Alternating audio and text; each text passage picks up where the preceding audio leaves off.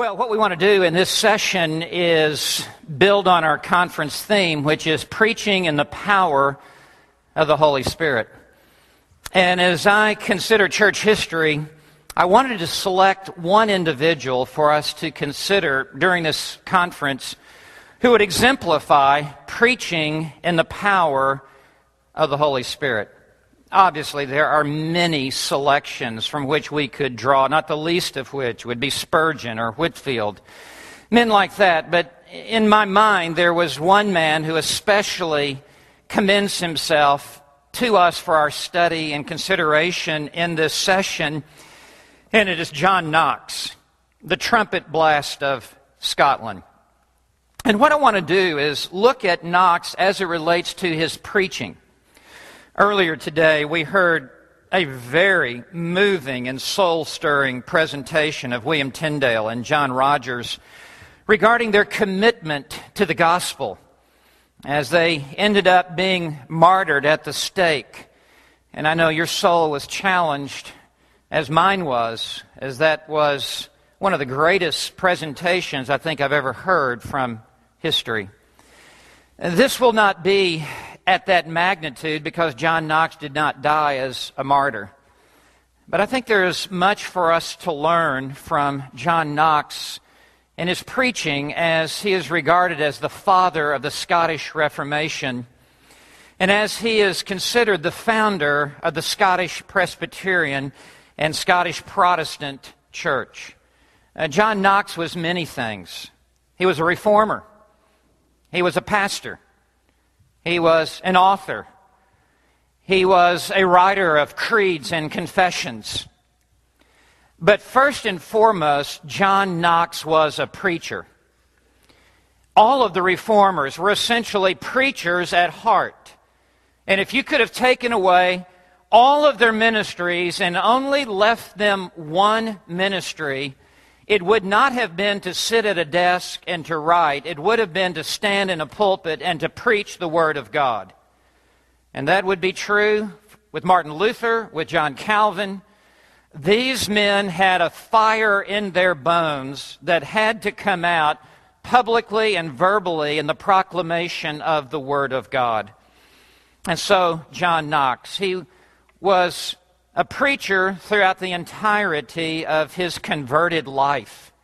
As soon as he was converted, and as soon as he was uh, really won to the Protestant cause, he immediately was singled out to be a preacher in St. Andrew's Castle. And he began the exposition of the Gospel of, of John.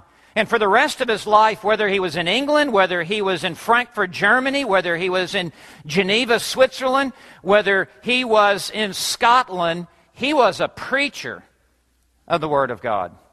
Now, you have before you uh, a biographical overview of his life, and I do not want to spend my time giving you a biographical sketch of Knox because we would become very slowed down and not be able to get to his preaching. But just to give you a flyover his life, to put him in historical context, just so you can know, he was born in 1514. By comparison, it would be uh, three years later that Martin Luther would nail his 95 Theses to the Wittenberg door. Um, it was just uh, five years before this that John Calvin was born in 1509. So here is the historical setting in which he found, was found. He, he went to St. Andrews, the University of St. Andrews. He was a brilliant man. He, he was a man of great mental capacity and was trained at that time in the finest university of Scotland. One thing we learn about these reformers, they were all brilliantly educated men. Now, these were not the men who could not hack it in, in, in intellectual, uh, scholastic, exegetical, theological work. These men are at the head of the line in their brilliance in handling the Word of God. They had to be in order to fight the battles that they fought. And John Knox entered the ministry in perhaps the strangest way. He became the personal bodyguard of a martyr in Scotland. a man named George Wishart. I, I just stood three weeks ago where John, George Wishart was, was martyred. Dr. Ferguson was standing next to me, and there was a GW on the pavement in St. Andrews. Uh, George Wishart was a prolific, powerful preacher of the Word of God and was, had an itinerant ministry, and for only a few months, John Knox followed him and looked up to him as a, as a mentor. And George Wishart was in such uh, danger for his life as he preached, and in a very short time would be martyred and burned at the stake, that John Knox stepped in and carried a broad, uh, a broadsword. And literally, bodily, physically, was the man who would accompany him and step in and, and defend him to to his own death if need be. And when they came for John, uh, George Wishart, he gave that famous line to John Knox, who was ready to die on the spot to defend George Wishart as he preached Reformed truth. Wishart said to Knox, One sacrifice is enough. Meaning, young man, you flee. Let them martyr me. You live to preach another day. That's basically how John Knox entered the ministry. He then went into the St. Andrew's Castle and began to teach through the Word of God, through the Gospel of John, and began to expound and to exposit the Scripture. And in the middle of a service, the preacher called him out by name and said, You're called into the ministry. And John Knox burst into tears and left the room, overwhelmed with a sense of the call of God and what that would mean, uh, the, the, the weightiness, the gravitas of being called into the ministry. He eventually accepted this call that he believed was from God. And no more had he accepted it, but French ships of war sailed into the North Sea and came against St. Andrews, and they stormed the castle, and they captured John Knox and took him back to France, a prisoner of war. He was forced for the next 19 months to be an under rower at the lowest level of a French ship that went up and down the Northern Sea.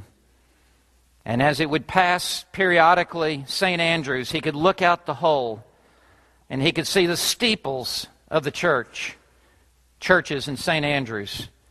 And in his heart, he believed that one day God would set him free and allow him to come back to St. Andrews and to preach the gospel of Jesus Christ. After 19 months, a political deal was worked out between King Edward VI. We heard about him earlier. The, the teenage king of England, the Protestant king of England, worked out in a prisoner exchange with the French so that John Knox would be released. And John Knox was now a free man. He went down into England and began to preach the Word of God. He went to Berwick, and there he met his future wife from a very prominent family. And he began to, to preach the Word of God, and he so distinguished himself that news reached the King of England of this powerful Scottish preacher in northern England, and John Knox was made one of the King's chaplains and was commissioned by the King of England to, to go throughout England and to preach the Word of God and to spread the Reformed faith as far and as wide as his lips could tell the story. And John Knox was a, was a trumpet blast even in England. And he said, I delight in blowing my master's trumpet. And that was the tone with which John Knox preached. He was a trumpet blast. Edward VI soon died, as we heard this morning. And he was succeeded by Bloody Mary. Never did a nation go from one extreme to another overnight so swiftly. And many stayed, like John Rogers and, and fought it out and eventually were martyred in England. Others fled. John Knox was one of those who fled. It was said that he had a remarkable sense of self preservation. He fled to France. From France, he went to Geneva to counsel with John Calvin.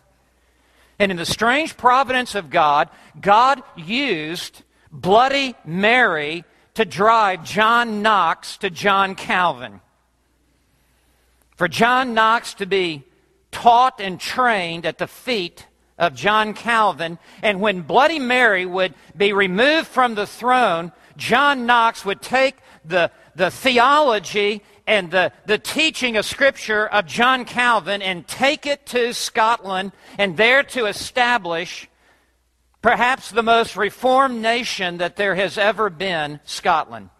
How strange are the ways of God. After being with Calvin for a short time, Calvin counseled Knox to go to Frankfurt to pastor a, a, an English speaking Marian exile church in Frankfurt. He did that for a while. There was a dispute over uh, the worship. Would they be more like Church of England with high literate, uh, uh, with, a, with a high formality in their worship? Or would they be of a different style? Knox withdrew.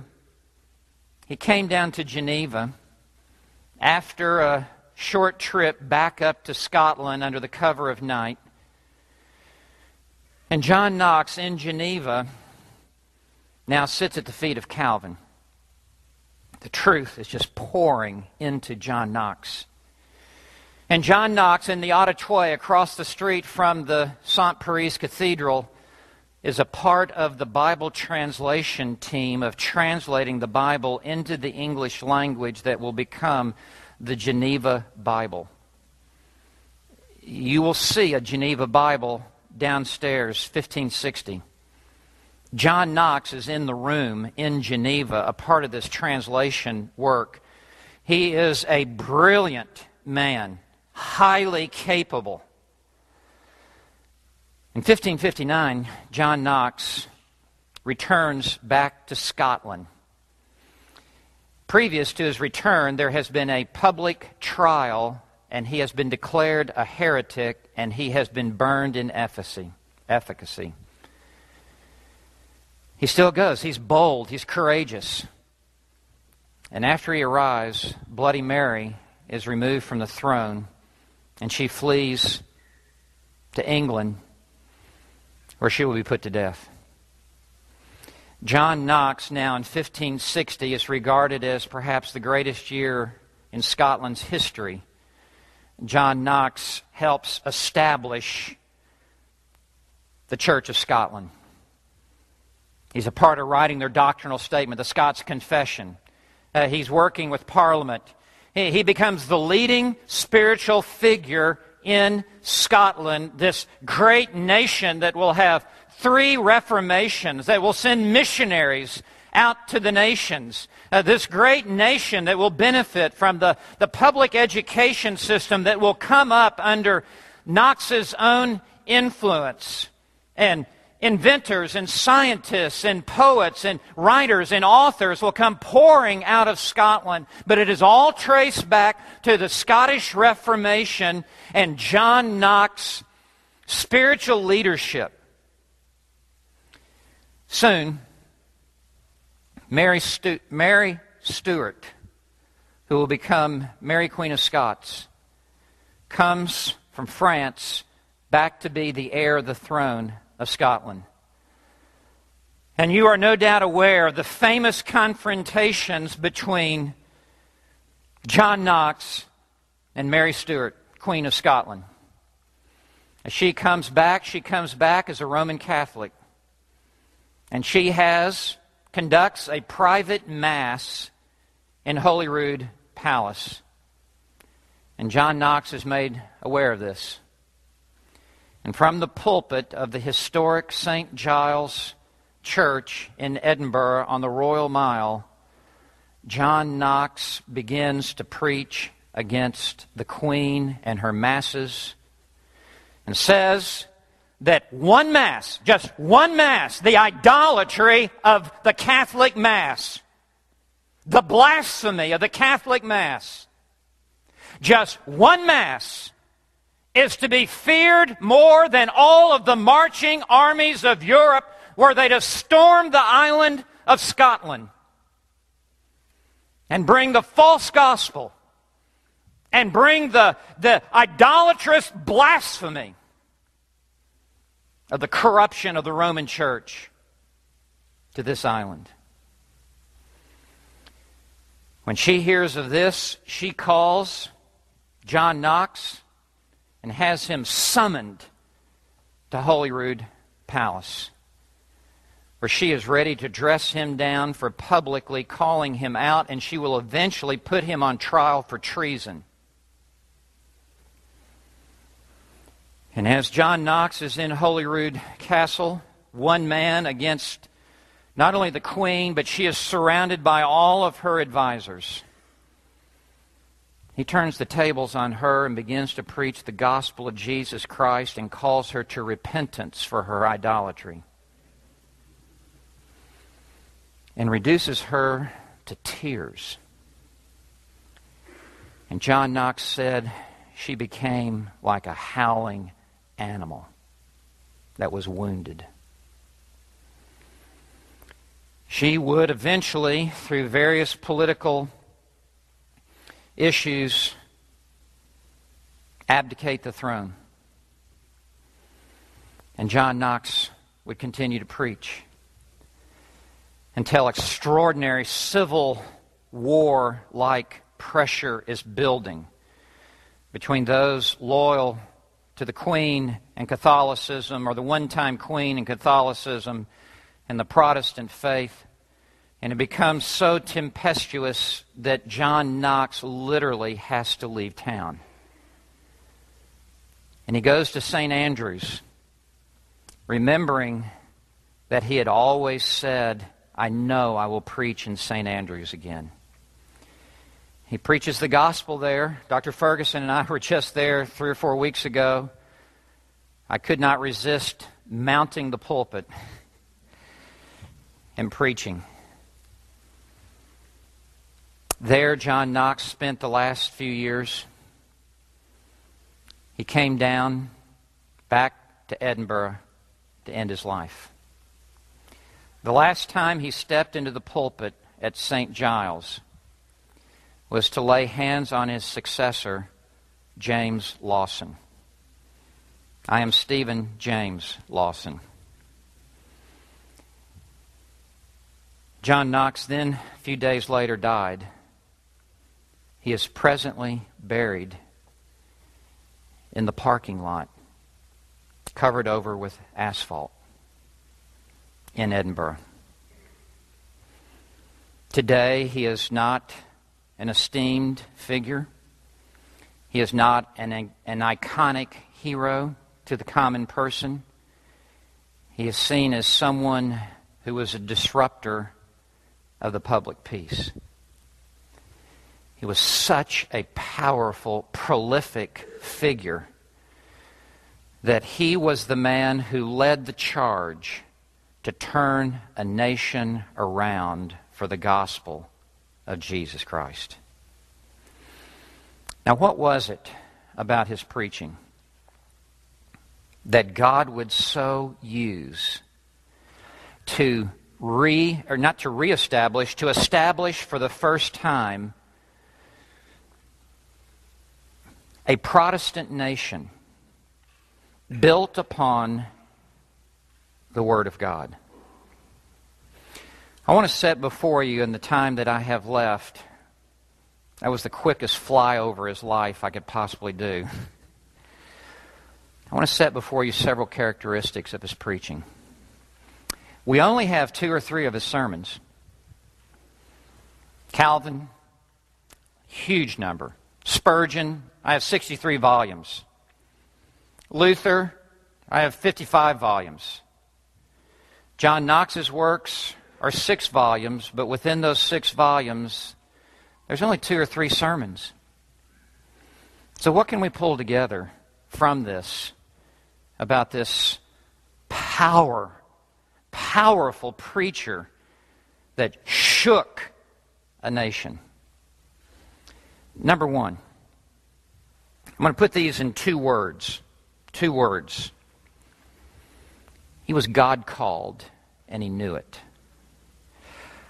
I believe that a man must know that he is called by God to preach the Word of God because tough times will always come.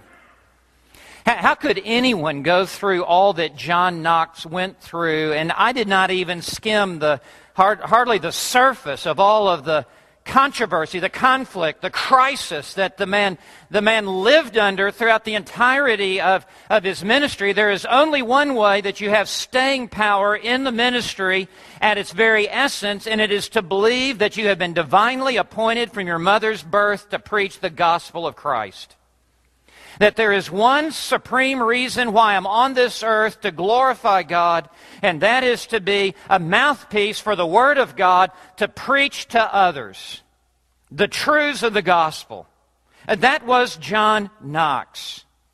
And it goes all the way back to when he first was pointed out in public in the St. Andrew's Castle Chapel when a Protestant leader in the middle of the service said, this church calls you to be a preacher of the gospel, he was reduced to tears and ran out of the room and went back to his, his room there to, to pour over his soul. It was a, a heart searching time for John Knox.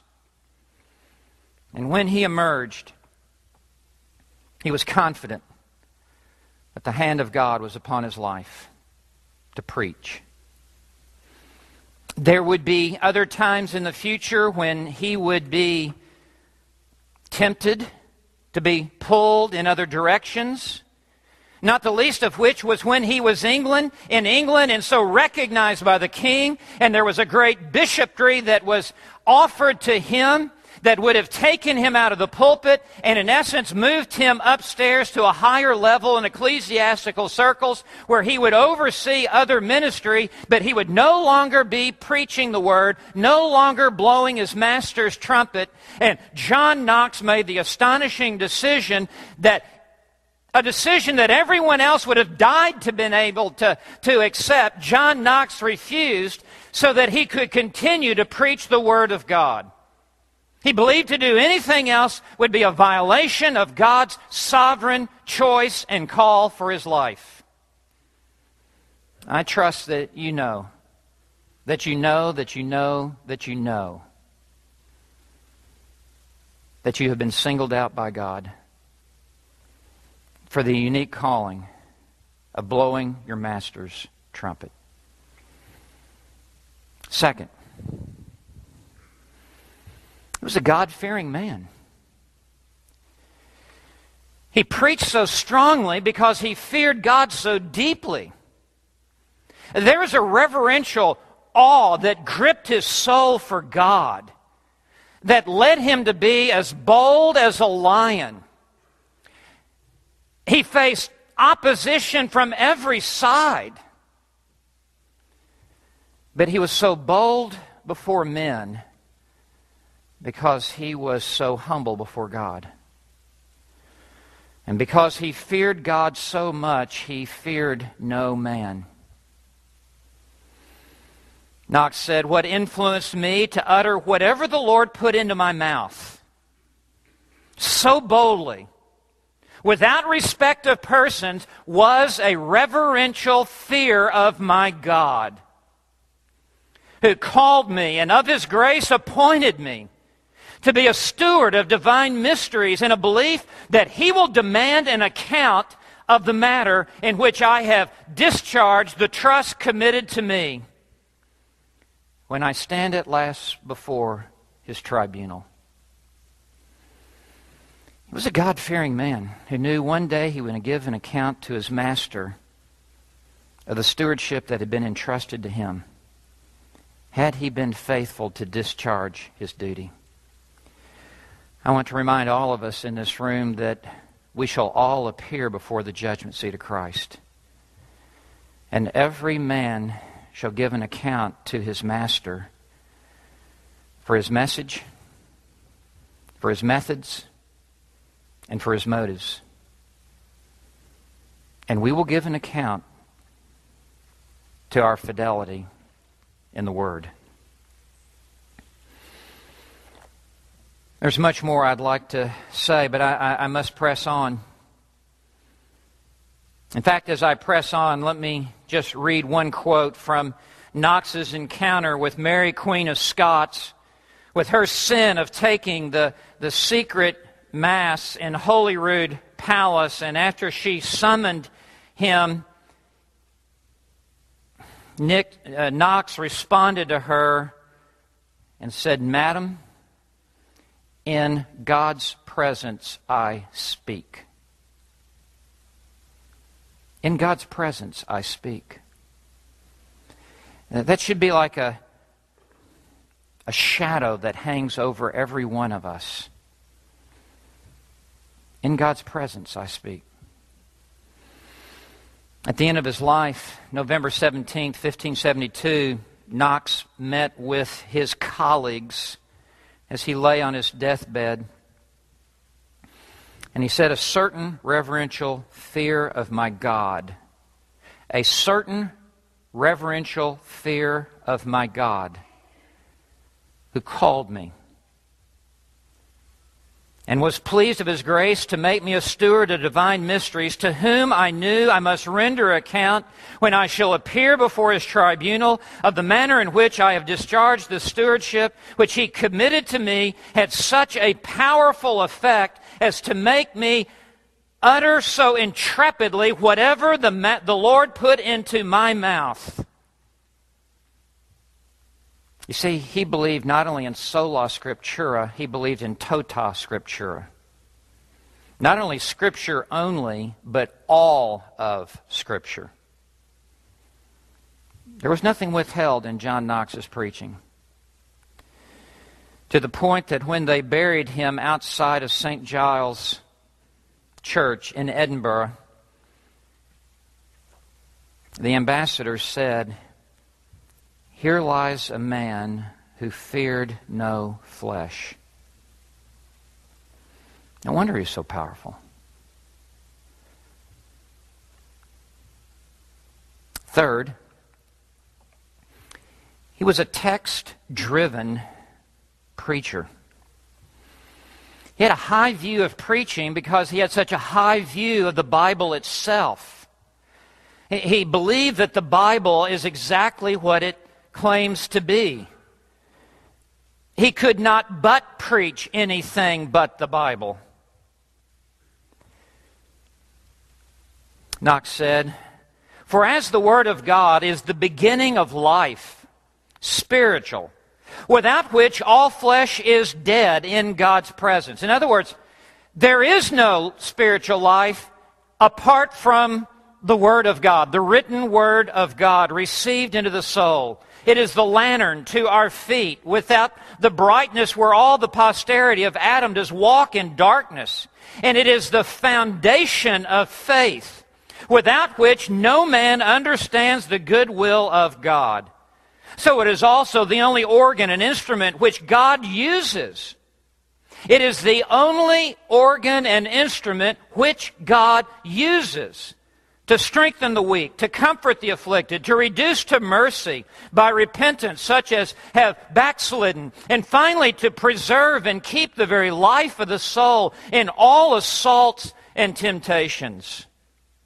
And therefore, if you desire your knowledge to be increased, if you desire your faith to be confirmed, if you desire your consciences to be quietened and comforted, and finally, if you desire your soul to be preserved in life, let your exercise be frequent in the law of God. He said, The word of the living God was, is, and shall be sure and stable forever. The word of God cannot be false. I always contain my affirmations within the bounds of God's scripture. In other words, the preacher has nothing to say apart from the word of God. Everything that we have to say is to flow from this fountain of truth, the Word of God. He was a text driven preacher. Fourth, he was a sequential expositor. And is to say, for the most part, he was committed to preach through entire books of the Bible or extended uh, sections of them. He, can pre- he preached consecutively through Scripture. It was that way from the very beginning. When he first in St. Andrew's Castle began to teach the Scripture, he did so systematically and sequentially through the Gospel of John, and it would continue throughout his ministry, preaching even through large Old Testament prophetic books like Isaiah, as well as Daniel and Haggai. Now listen to this quote. Knox said, "We like, uh, excuse me, we think it most expedient that the Scripture be read in order, and that is that." Some one book of the Old or New Testament be begun and orderly read to the end. And the same we judge of preaching where the minister, for the most part, remains in one place, meaning one place in Scripture, and works his way from one place to the next in logical sequential order. He says, skipping and deviating from one place to another in Scripture, be it read or preached, we judge not so profitable as the continual following of one text. He was a sequential expositor. There is the time and the place for the topical and the doctrinal exposition. Uh, there is time and play, or the time and the place to trace out great themes in the Bible. But the meat and potatoes, day in, day out, to be served to a flock, Knox believed was to be the consecutive exposition. Number five, he was a well studied student. He possessed a brilliant mind. He was so powerful, sometimes we forget the fact that he was, he had a towering intellect. And it came out in the study and it came out in the pulpit. And he believed that preaching demanded the best mental powers. And so he was well absorbed in the diligent study of the Word. He drew on his knowledge of the biblical languages, even though he entered the ministry so late in life. Uh, John Broadus, in his wonderful book, Lectures on the History of Preaching, writes Knox was pressed into the ministry at the age of 42. About this time, he learned Greek. And at the age of 49, we find him at Geneva busily studying Hebrew.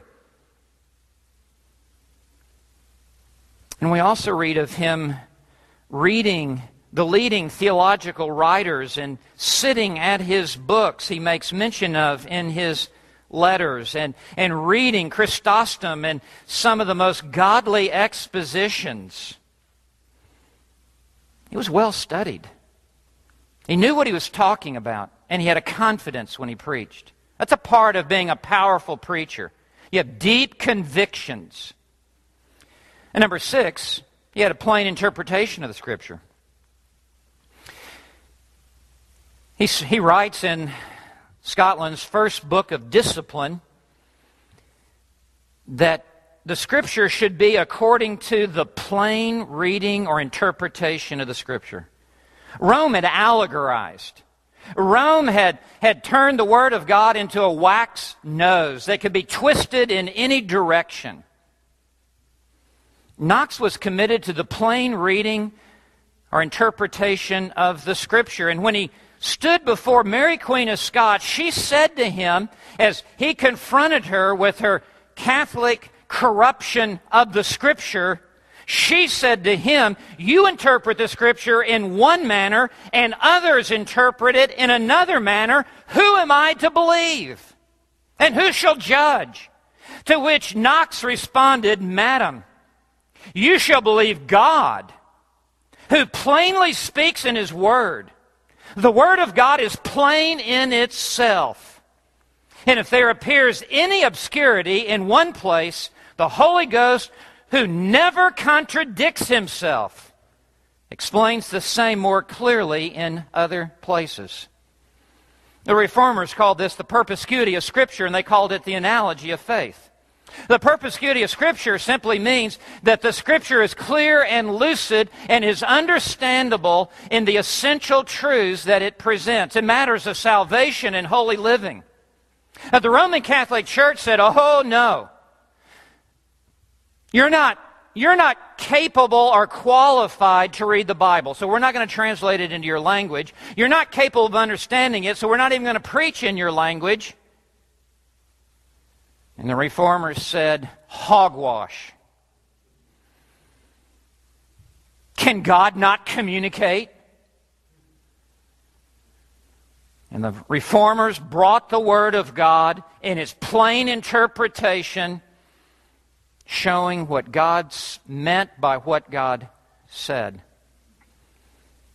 That was John Knox. He believed the Bible speaks with one voice, with one plan of salvation with one standard of morality, with one plan for the ages, with one design for the family, etc. Number seven, he was a Christ centered preacher. And he had to be at this day, in time especially. He preached the person, the offices, and the work of the Lord Jesus Christ, and preaching Christ was his highest aim. And it is said by one commentator of Knox's life, he, re- he called the Scottish church to its original audience, to Christ, the church's head, not to the Bishop of Rome. Knox's first book of discipline broke the tyranny thus established by Rome. In it, Christ alone was recognized as head of the church.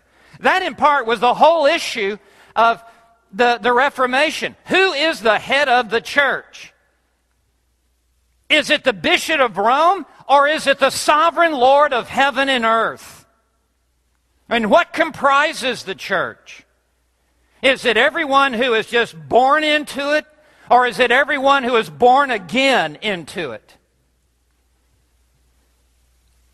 Knox said, There is no name by which men can be saved but that of Jesus and that all reliance on the merits of others is vain and delusive, referring to the merits of, of, of, of saints or of, or of Mary or of the treasury of merit or the purchases of indulgences or, or last rites or, or any of these other seven sacraments. He says it's, it's vain and delusive that the Savior, having by his own sacrifice sanctified and reconciled to God those who should inherit the promised kingdom.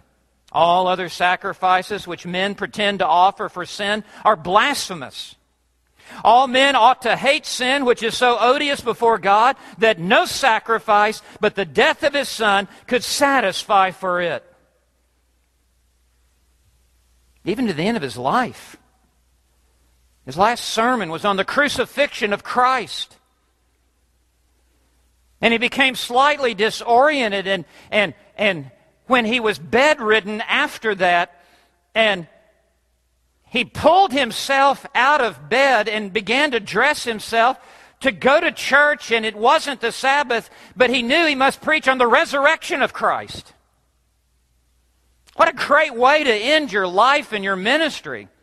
Just pulling yourself out of bed to go preach the next sermon on Christ.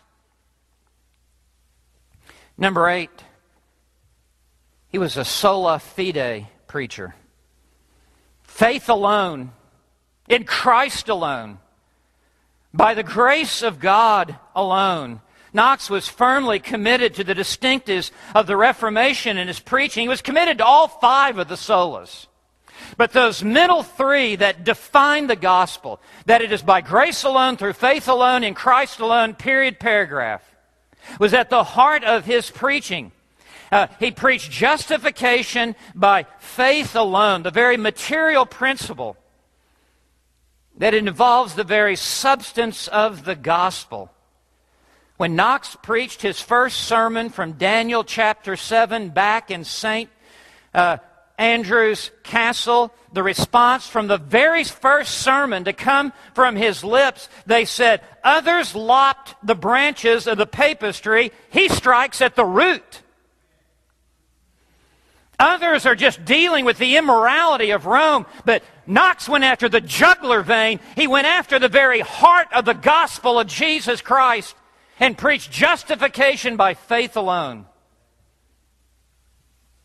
He did not trouble himself with peripheral issues. If therefore the doctrine of any man tend to the exaltation and advancement of any righteousness or perfection except of Jesus Christ, let him be accursed. Sounds like Paul to me. Number nine, he was a sovereign grace preacher. Along with the other reformers, Knox believed and preached the absolute, supreme authority and sovereignty of God over all things, over all matters of providence and salvation and judgment. Knox preached that God possesses divine right as the King of heaven over all the works of his hands. He believed in the doctrine of sovereign election, unconditional, free, electing love of God setting his heart upon those who are unworthy and undeserving, who would never come to him. But God is the initiator in eternity past, choosing by himself and for himself those whom he will save, and leaving the others to their just judgment. Knox said, As for our God, in his own nature, he is immutable so remains his love towards his elect is also always unchangeable. For as in Christ he has chosen his church before the beginning of all ages, so by him will he maintain and preserve the same unto the end. He believed that from ever from eternity past to eternity future it is all of sovereign grace. He was outspoken about this. When he, retur- when he returned to Scotland in 1559, the first treatise that he wrote is entitled A Treatise on Predestination. And he gives the reasons for the importance of preaching the doctrine of predestination. He writes The doctrine of God's eternal predestination is so necessary to the church of God that without the same, faith can neither be truly taught, neither be surely established, man can never be brought to true humility, and never be brought to the full knowledge of God Himself. Neither can he be ravished in admiration of God's eternal goodness, and man can never be moved to praise God as he should be praised apart from the doctrine of predestination. He understood what we must understand that the doctrine of God's sovereign predestination is the great pride crusher. It is the great worship inspirer. And remove that, and you move a linchpin out of the body of divinity that is to be taught to the church. Number 10, he was a polemic defender of the faith. Knox understood that it was his duty as a preacher not only to proclaim the truth, but to defend the truth from all attacks of errors. Now, this is what Titus 1, verse 9 says that an elder must be able to teach in sound doctrine and to refute those who contradict. Not just smile at him and say, well, you know, we're all saying the same thing. To refute those who contradict sound doctrine. He was so polemic in this day of swirling Catholic monstrosities committed against the gospel of Christ that Luther spoke out so boldly that it almost singes the hair on the back of our neck to hear him preach so boldly. Almost distasteful today. Knox said that God's word damns your ceremonies. It is evident. For the plain and straight commandment of God is not that thing which appears good in your, in your eyes, but what the Lord your God has commanded that you are to do. Add nothing to the Scripture, diminish nothing within it. No, unless you are able to prove that God has commanded your ceremonies, His former commandment will damn you. And it is true. John J. Murray, who writes a recent biography on John Knox, said his teaching contained a denial of the Pope as head of the church, terming him Antichrist, and a rejection of any religion not based exclusively on the Bible. He declared the Mass to be an abomination, purgatory non existent, and prayers for the dead vanity and idolatry. He had to be strong in these days. He had to fight the good fight. Number 11, he was an extemporaneous preacher. And he desired a, a, freedom in his delivery, so he chose to preach without a manuscript. Uh, he carried a few notes, but they were very limited. He wanted to have a spontaneous speech because he felt that gave him a more powerful delivery and expression. It is said by William Taylor, it was his habit to speak from a few notes which were made on the margin of his Bible. So that's how few notes he had. They were scribbled out in the margin of his Bible, and which remained the sole, meaning only, the sole written memorandum of his discourse. Yet his sermons were as carefully premeditated as if they had been written. He prepared with care and remembered with accuracy. He did not speak extemporaneously in the sense of never having thought upon his subject until he was required to speak, but he had fixed beforehand his line of thought, and there is reason to believe also, in many cases, the very words in which he had determined to express himself. Yet, though he premeditated very carefully, he was able also to introduce what was given to him at the moment. Meaning, as he stood in the pulpit, God would add to what he had premeditated.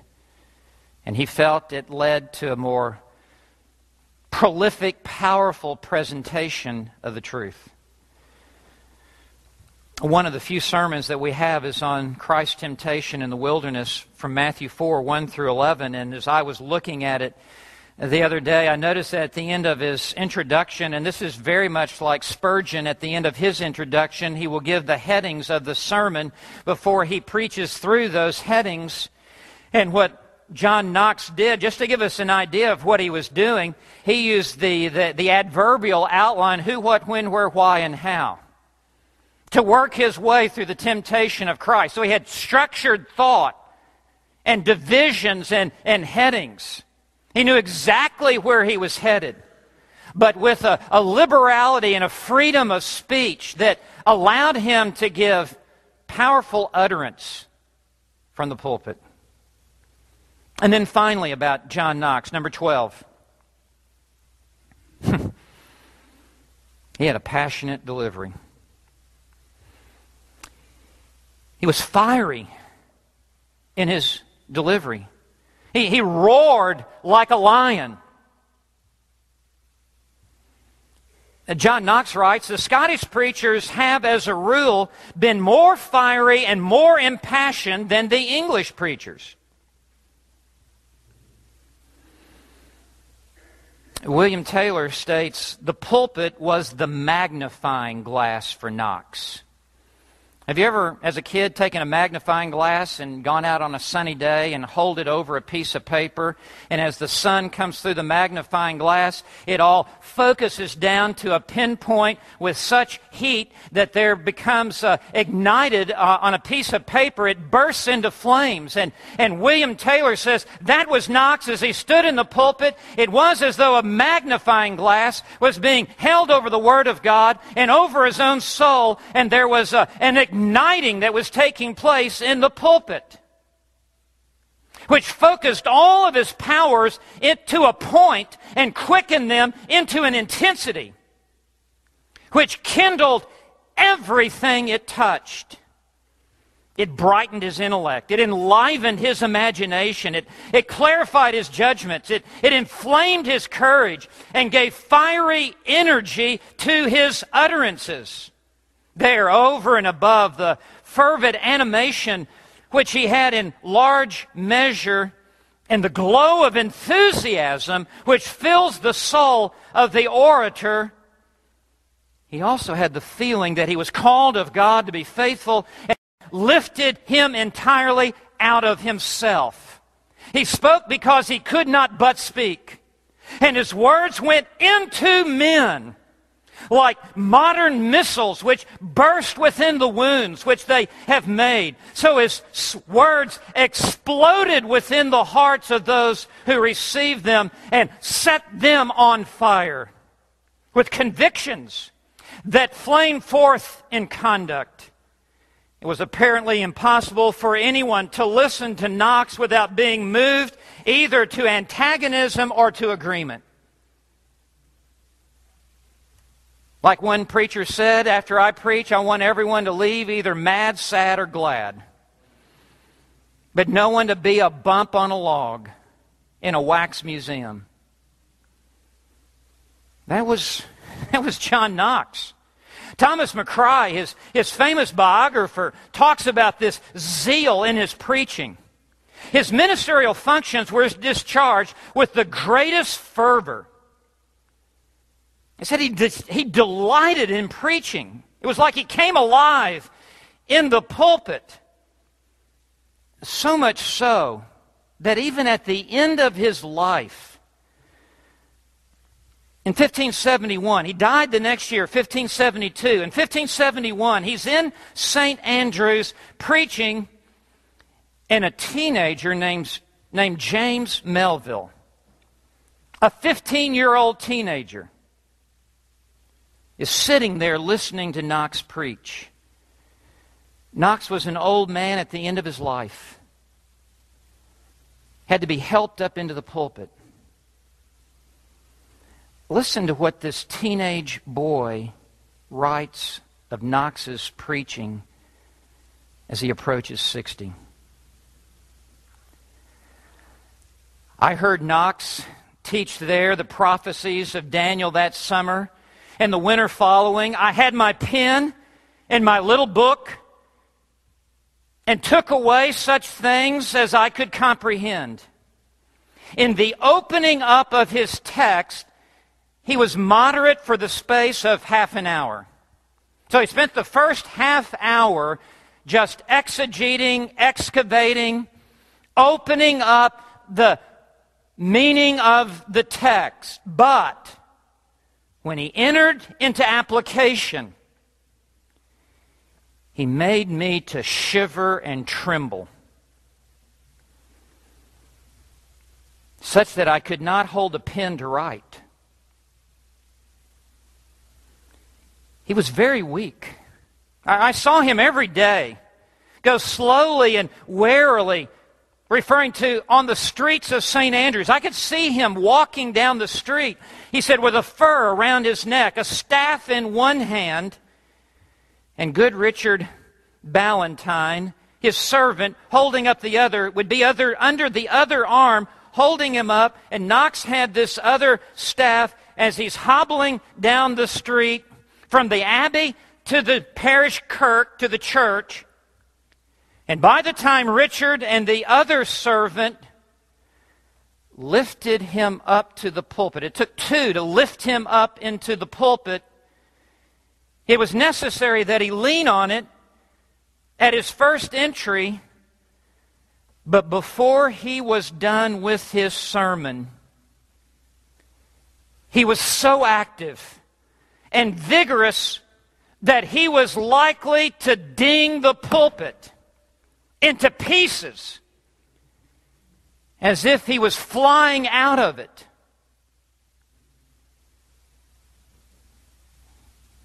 That was the passion of John Knox's preaching. He wasn't up here lecturing. Lecturing is fine, save it for the classroom. The pulpit is the place for preachers. And preachers ding the pulpit to blads. Knox said God gave his Holy Spirit to simple men in great abundance. I think we qualify. Simple men, not many mighty, not many noble.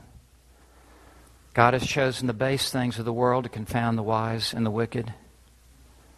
He's given His Holy Spirit to simple men in great abundance.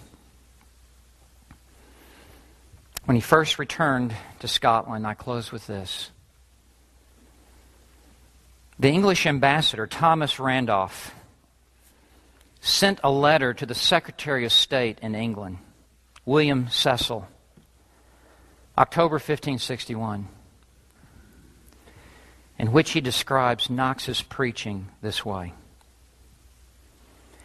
I assure you, the voice of one man is able in one hour to put more life into us than 500 trumpets continually blustering in our ears. That is a spirit filled, spirit anointed, spirit empowered, spirit energized preacher of the Word of God. That he can, in one hour, put more life into people than 500 trumpeters blaring their trumpets all day long. May God raise up in our midst simple men who have an abundant supply of the Holy Spirit, who will put their lips to the Word of God and stand on the wall where they are positioned and blow their master's trumpet. May you know that you're God called. May you be God fearing. May you be so text driven. May you be sequential in your handling of the Scripture. May you be Christ centered. May you plainly interpret the Word of God. May you be so passionate and, when necessary, be polemic and to refute those who contradict. And God will use you to bring about a great reformation in your church, in your community, in your city, perhaps even in your country and in your world.